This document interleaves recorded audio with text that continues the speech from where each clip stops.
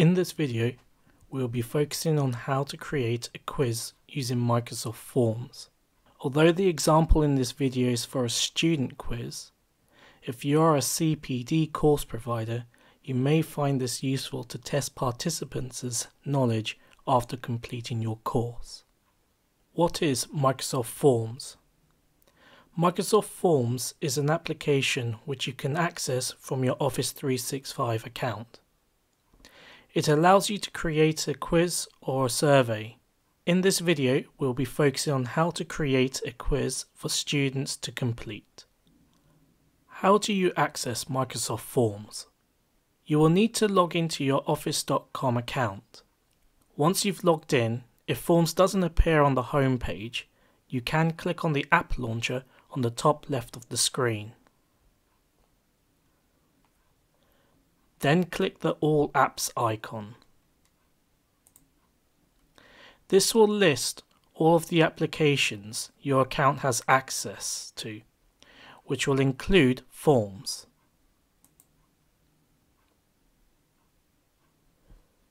How do you create a quiz? When you are on the Forms homepage, click on the New Quiz button.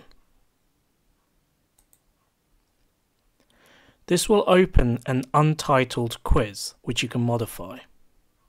To change the title of the quiz, click on the Untitled Quiz heading and input the name of the quiz.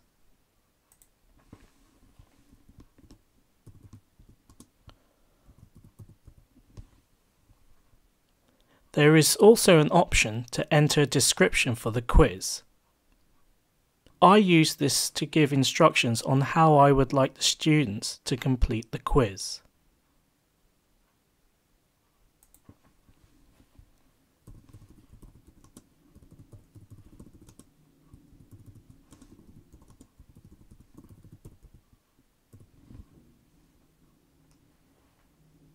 How do you add questions to the quiz? To add your first question, click on the Add New button. This will give you a list of question types to choose from. Choice means multiple choice questions. Text is usually for short answer questions where a student must enter the correct word or words and ranking is the last type we will focus on. With a ranking question, the student must put a sequence in the correct order. There are other types of questions and it's worth exploring these if they are relevant to your subject, such as rating or giving a date or providing an opinion using preset choices. How do you set the quiz to auto mark? To do this, you will need to select or write the correct answer to the question. Let's see how this works with a multiple choice question. I'm going to write a question.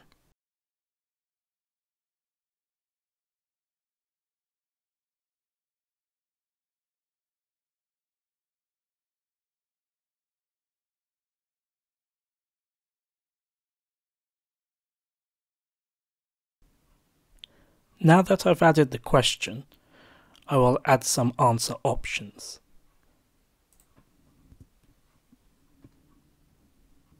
To add more answer options, you can click on Add Option.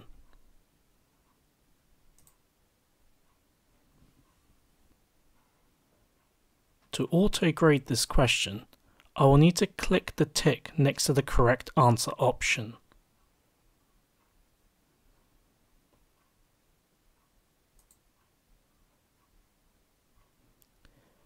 If this question has more than one correct answer, then I can click on the multiple answer icon and then I can choose which answer options are correct.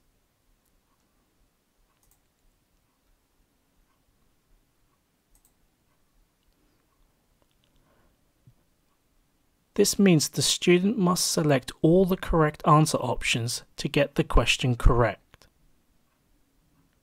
If I wanted to add points or marks to the question, I can just add it to the points box. If the student had to complete this question, I would mark it as required by clicking the required icon. This will prevent the student from submitting their answer if they have not attempted the required questions.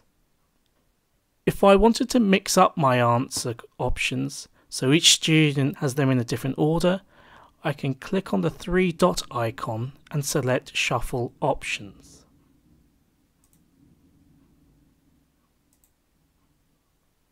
I would recommend using this option as it may prevent students from sharing answers.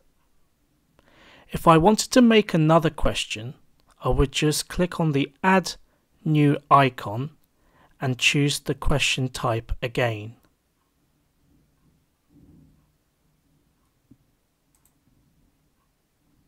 You will notice that Forms uses the previous question settings as a template for the new question. You can see it has already entered the points or marks for the question. And it has selected the shuffle option you will, however, need to remember to tick the correct answer. How do you change the appearance of the quiz? If you want to change the look of the quiz, you can click on the theme icon near the green send or share button.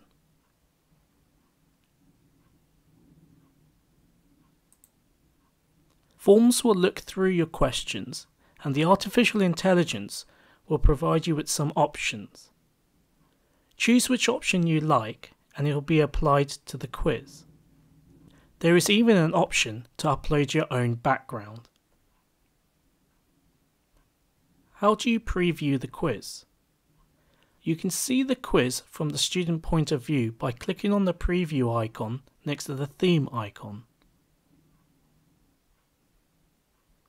You can then select which device you would want to preview the quiz as, either the computer view or mobile view. How do you send the quiz to students?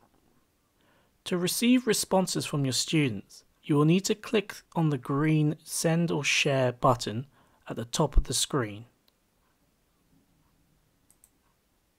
Select the setting you would like under the Send and Collect responses. You will have a few options to share your quiz. You can send a web address link, provide a QR code, embed the quiz in a website for a learning platform such as Firefly, or send an email to the students' school email addresses. How do you view the responses? You will need to open the quiz you have created. Once you're on the Edit screen, you will notice a tab called Responses next to the Question tab. Clicking on this tab will display all the completed quiz answers from each student. This is updated in real time, so you can view the results as they come in. You may review each student's response by clicking on the Review Answer button. You can even provide feedback for the questions that students got wrong or override the auto marking.